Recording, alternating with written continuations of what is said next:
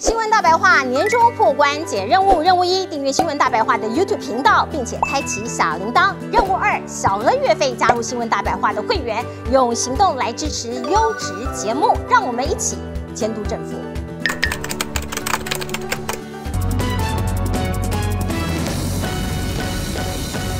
有些民众认为哦，现在对反反对党来说可以说是情势大好，因为满地都是枪，很多政策看起来是实行的乱七八糟。可是身为最大反呃在野党的国民党呢，是不是哦再度拿到好满手的好牌，可是却又胡不了牌呢？我们先来看看现在台湾的这个政治局势是什么？反公投哦，四项公投，民进党要反嘛？那我们可以看到呢，这是根据 TVBS 上个礼拜五才刚刚公布的最新的民调，认为这四项公投如果明天就要这个投票的话，就要登场的话哦，其实反来猪公投看起来是最容易通过的哦，因为有百分之五十五的人同意要禁止哦这个来猪进口哦。那另外真爱早教应该也可以惊险过关。另外核四可能哦不会过，因为大家对核四的安全还是有疑虑哦。公文保大学也会过关，所以看起来对在野党对监督者的角色来说，你现在很有力量，你现在情势大好。可是呢，我们看看民进党哦的这个丢出来的这样子的。这个很多的议题可以让你去攻，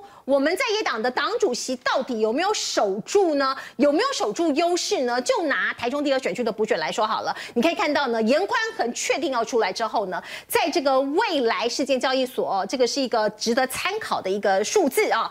严宽很胜选的几率看起来在很多民众的心中是比较高的哦。可是呢，现在看到这个情势大好的在野党。有时候质询或者是在作为上真的是荒腔走板呐，包括在新北有这个新北议市议员呢陈明义这一段质询，就让人家觉得说，哎，精细是何系？你到底在说什么？我们来听听看。你看一下后面那两个货柜，你知道它这里面的木头上亿啊？他现在要撤场，把所有的铁啊、纸通通运出去，他的木头都是好的木头，他要放到货柜里面。我空地不能放货柜吗？我已经不做了，我木头什么上亿？木头上亿？还来这茶龙就给打了呢。他一根的木头给他女儿当当嫁妆，一根木头给他女婿的儿子。哇，那他有钱啊？他哪里没钱？人家是说 有没有钱不是重点。上个礼拜在新北市议议会的这一场质询呢，很多人都笑掉大牙了。陈明义是要帮一个违法的回收业者，有点。替他护航嘛，这个讲的不太好，就是替他求情啊，说哦，狼马是刚抠狼啊，哈，哦，不要一直给人家这个违建要拆掉啊。结果柜子里货柜里有上亿的这个 这个木头，那怎么会是港抠狼呢？哦，包括公投辩论又挣钱换将了，以及哦，包括了呃地方大佬在朱立伦主席的这个主导之下。中呃，这个台中的这个呃，这个市党会主委啊，这个市党部主委啊，这个林敏玲哦，他这个是一个非常资深的一个党内的大大佬，突然他说，哎，我要请辞了。如果朱立伦再找我讨论，我还是会提一次。看起来朱立伦是不是没有在珍惜，或者是没有在尊重这一些党内的大佬呢？你看到光晴姐就这样讲了，他说，如果是高玉仁，朱立伦敢吗？眼看中二选区就要补选了哟。林敏玲请辞两次，朱立伦不闻。人不问呐，他是认为哦，猪要用自己人哦，不愧是大佬哦，受到逼退的氛围哦，所以李敏玲干脆自己来了，自己请辞了。以及哦，其实这一次的国民党的这个新任的党主席，他提名的三位的副主席，也有人有意见呐。呃，这个连胜文哦，这个到到底为什么可以担任副主席的人觉得说你还不 qualify 啊？那呃，包括这个不可能，我二弟天下无敌，这是一个这个蓝营哦，很支持蓝营的一个粉砖哦，他就来哭诉一下连胜文呐，因为他觉得连胜文你今天哦，这个可以在这个位置上，通常呢，呃，大家觉得你这个应该就是你的爸爸很厉害啊，你还来讲说我办公室有两位议员，有一位市政府这个市政府局长，好像你自己好棒棒，可是你一点都。不棒，已经被自己人给考 C 了，所以民进党哦的这个执政下面哦，国民党还是满手是牌，还是打不出好牌，是这样吗？呃，林敏玲他以前是台中的议长，那是红派的大佬，那他他这样的话，其实如果你从另外角度来解读的话，他也是让朱立伦有布局的空间了。那如果是红派的事情，那请江启臣去处理就好了。好，当然这个江启臣会不会听朱立伦的？但是。观众朋友，你现在看红派跟黑派大团结，罢免陈柏伟才赢四千多票。那现在你说这个一月九号就要补选，就台中市党部主任说我要换人了，这个当然对整个国民党而言，它是一个扣分。好，就你你没办法团结嘛，啊，不管说他们红派黑派有各种的这个，哦，地方上的纠葛或什么的，就会变成这样子哈。那前次你提到这个陈明议员的那个突锤哈，这个我我给他看，这个上礼拜你有谈哈，这个是我们的行政院长啊，他骂国民党立委吵死的，好，还骂他说听懂了没？我说这是老师对学生讲话听懂了没？那他骂吵死，骂过了很多秒哈，然后这个。国民党立委才回过神来说：“我也觉得你很吵，我觉得你很吵死了。”然后还骂人家说你是暴力分子啊，你是小偷行为。这样的一个行政院长骂在野党立委说吵死了，这个我也，嗯，我我我不知道那是不是要要这样的要这样的强硬？那当然，我觉得陈明义他是咨询的突锤，请大家看那个公投的说明会哈，这是我们农农委会主委他说啊。这个宜祥兄，这你的专业了哈。说台湾赚美国的贸易顺差五千三百亿，他已经翻成台币了哈，换算成台币了。如果反台做通投过的话，美国会不会生气？好，陈义忠这样讲，五千三百亿，我们赚大陆四兆两千亿耶。嗯，更多。哎，你怎么都不怕大陆生气呀？你只很怕美国生气。哎，美国会生气，所以美国很会生气，所以我们我们要买很多很烂的军火，然后去买很多的来猪，那我们赚大陆更多。